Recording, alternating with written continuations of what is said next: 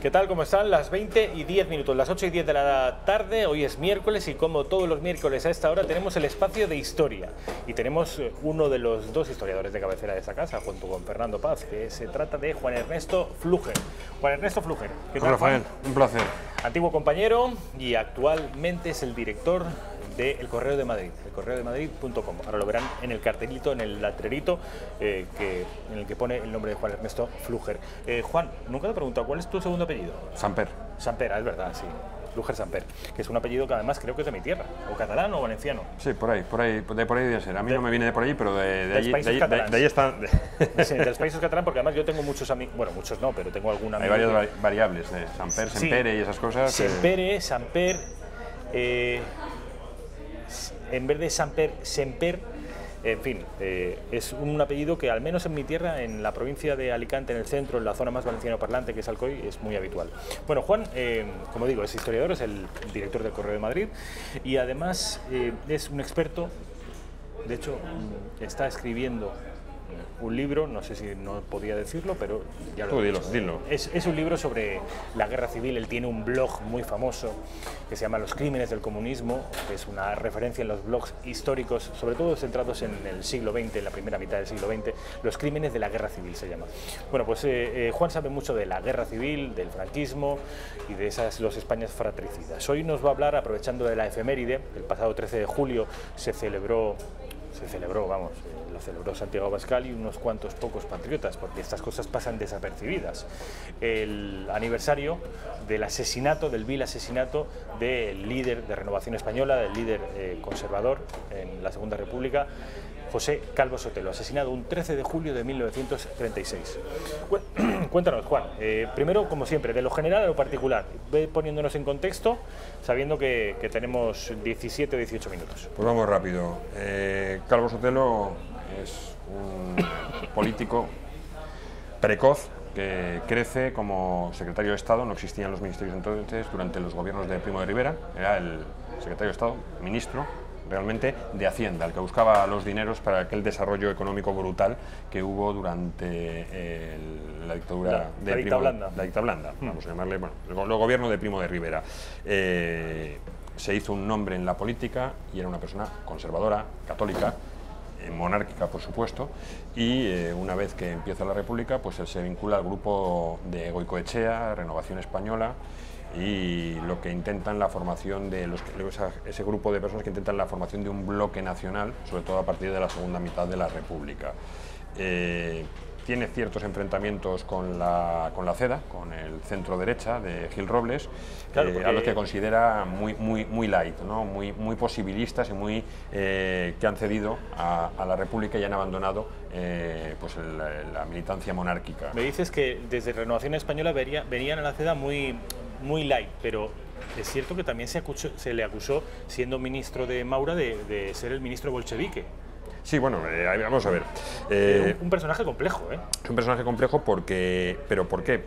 Porque tenía un concepto de la economía eh, que se alejaba del liberalismo que estaban defendiéndose en ese momento en los centros derechas y, y que eh, pues bebía un poco de la doctrina social de la Iglesia, venía un poquito, eh, es el primer intento de aplicar el distributismo en España eh, con unas bases de crecimiento lentas, muy sostenibles y sobre todo sin dar pábulo las grandes corporaciones económicas y financieras. así se crece durante el gobierno de Primo de Rivera, que quizá haya sido, aquí se habla muchas veces del milagro español de los años 60, pero el milagro fue realmente en los años 20, cuando alguien le cuenta que Telefónica, eh, mm, la construcción de las seis radiales, eh, Iberia se crean durante este, durante este gobierno. Aparte se construyen 500 grupos escolares escuelas eh, rurales, se contrata 7.500 maestros, se empieza el primer plan de desarrollo hidráulico con más de 150, estamos hablando de un gobierno que dura seis años escasamente, 7 años. 250 obras hidráulicas, presas, embalses y demás, saltos de agua para dar electricidad. Bueno, pues se llega por primera vez a absorber todo el paro de España y se importa mano de obra de Portugal para mm, poder hacer ese gran desarrollo económico. Se crean los primeros paradores nacionales, que todo el mundo piensa, eso es una cosa del franquismo, no, si el parador de Gredos ya existía en el año 31, que es el primero que se crea, que eran pues para facilitar el comercio, eh, para que, donde se alojaban los corredores de comercio y demás. este era su planteamiento, todo muy sostenible y además con una base de Estado, ¿no? con una base de las grandes empresas privadas. Por lo tanto, eh, es verdad que eh, paraba los pies a las grandes corporaciones y además tenía un concepto social del trabajo que hacía que defendieran, que siempre defendiese al, eh, trabajador. frente a los posibles abusos. no eh, al trabajador eh, sindicalizado en los sindicatos de clase como marxistas, exactamente, pero sí es el que introduce es el que introduce en aquel gobierno, sin ser su competencia, los tribunales paritarios, que luego dice la República que los ha inventado ellos. Es mentira, los tribunales paritarios son se introducen en España en el año 27, que creo que a la República le quedaban cuatro años ¿no? para llegar. Y es todo inspiración de esa idea de la doctrina social de la Iglesia. De manera que ojo con el personaje, que esas críticas a la CEDA por ser poco de derechas, habría que ver hoy desde el punto de vista del siglo XXI quién era más de derechas, si Gil Robles o, Calvo Sotelo. Calvo Sotelo. Calvo Sotelo era, más, era bastante más social. Y todo esto una cosa que tenemos que decir, lo hace con 27 años. Carlos Otelo es nombrado secretario de Estado con 27 años y además de economía, que no le dan como ahora dan las carteras esas de igualdad y esas para que puedan decir tonterías, ¿no? Le dan una cartera importante, que es con la que tiene que financiar todo el Estado. Y él lo decía, Guadalhorce, que era el ministro de Industria entonces, el conde de Guadalhorce, eh, en los consejos de ministros tenía grandes discusiones con Carlos Sotelo, porque siempre le pedía más dinero para hacer más obras. Y Carlos Sotelo siempre decía, Guadalhorce, te ha tocado la parte divertida, tú haces trabajo y yo, y yo, y yo tengo que recaudar el dinero.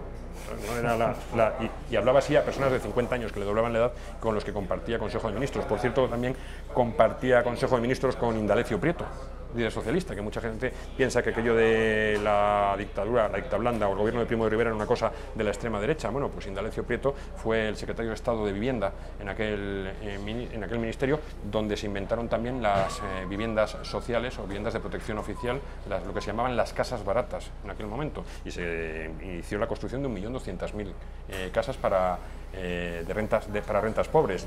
creo que que es importante, ¿no? Todo lo que aporta. Quédense en cualquier caso con ese nombre, y con ese nombre de Indalecio Prieto que compartió gabinete con, eh, eh, José, María, de, con José Calvo Sotelo. Bien, luego en la, en la República entra en Renovación Española, no renuncia jamás a su, a su ideario monárquico, pero tiene que exiliarse. En el año 31, una vez que se producen las elecciones, se exilia porque lo quieren juzgar eh, en el tribunal que juzga a Alfonso XIII y a los miembros de el gobierno, de los gobiernos de, Primo de Rivera, de Miguel Primo de Rivera.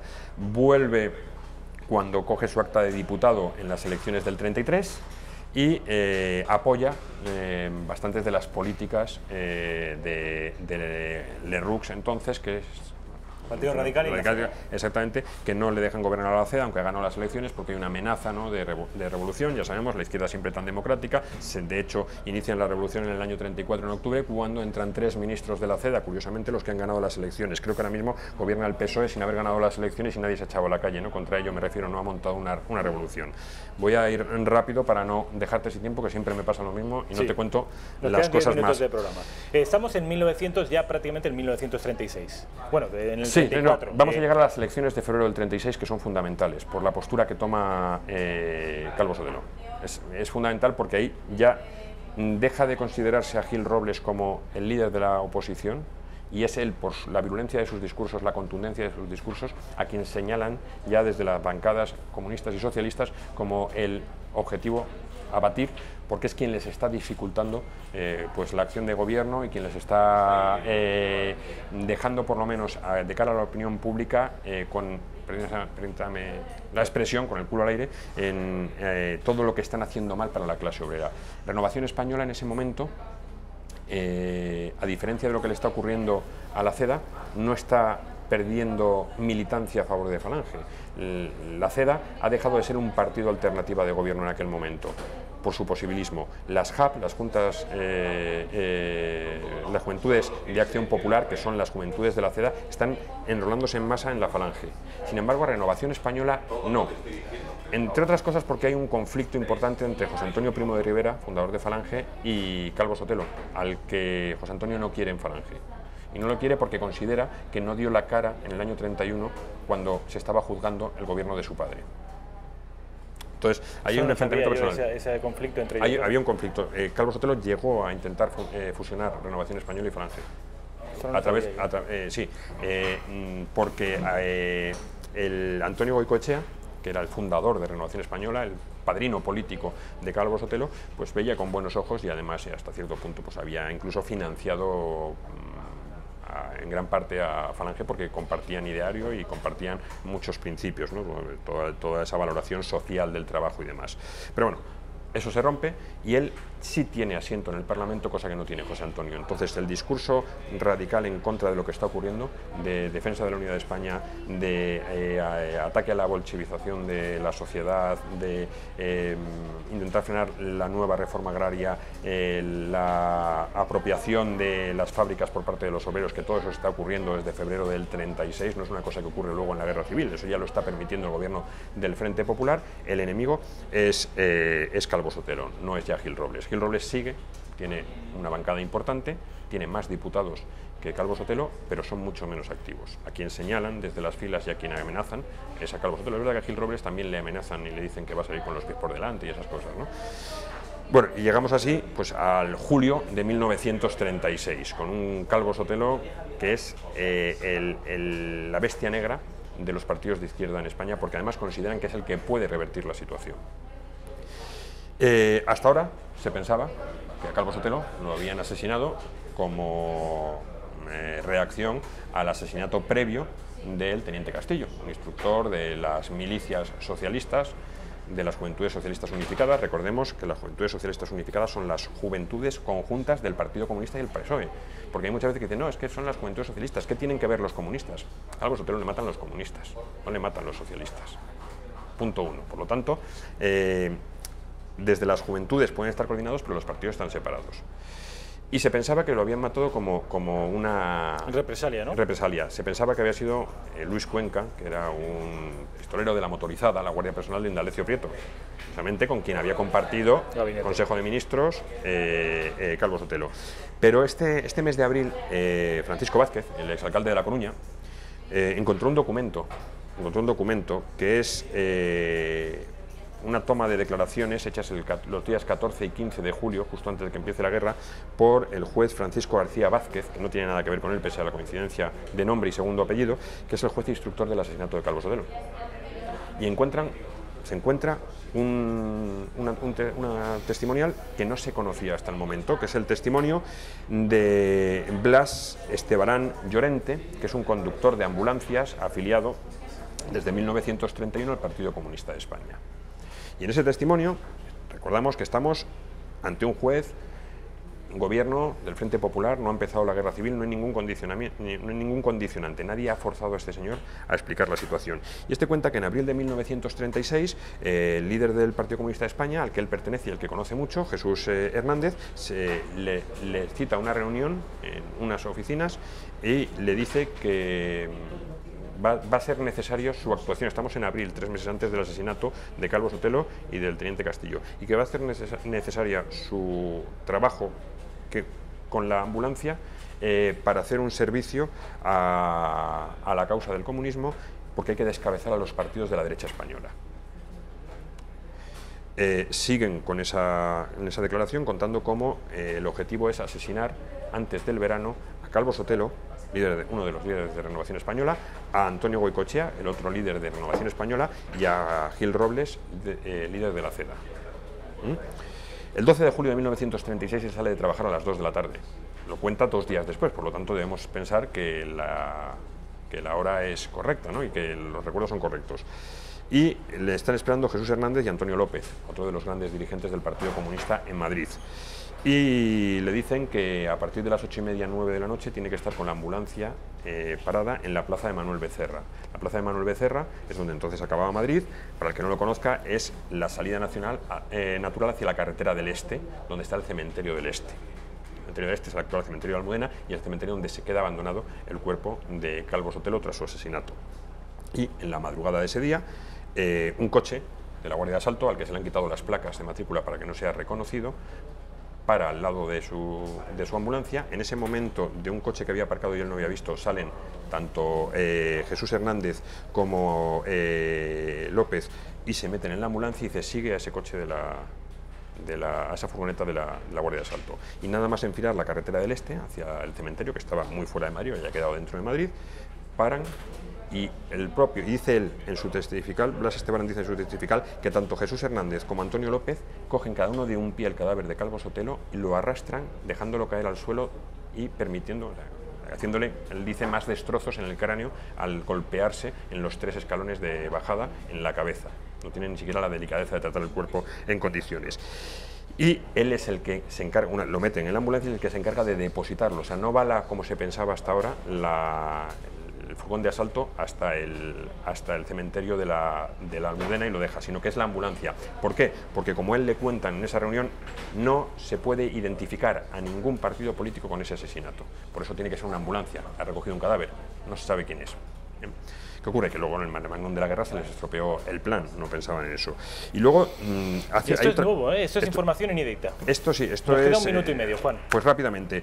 Eh, Habla, habla, de que no es Luis Cuenca quien dispara, sino que el, quien, quien, dispara es el teniente Máximo Moreno de la Guardia de Asalto, porque él recuerda cuando llegan con el coche cómo estaban colocados y la conversación que tienen con ellos. Él dice que conducía Baldomero Sanz, que a su lado iba Julio Bueno, dos miembros de las Juventudes Socialistas Unificadas. Detrás iban sentado Isidoro Castiñera, Castiñera el teniente Máximo Moreno y en medio es donde iba Calvo Sotelo y detrás iban Luis Linares y Luis Cuenca y los disparos vienen desde el lado derecho, desde el, o sea, desde el lado inmediato derecho de Calvo Sotelo y no desde atrás a la izquierda donde estaba Luis Cuenca. Se pensaba que le dispararon desde atrás, claro. Exactamente, pues los, los, los, impactos vienen desde el lateral y además a él se lo confirman y él asegura en esa testifical que fue este Máximo Moreno el que fue.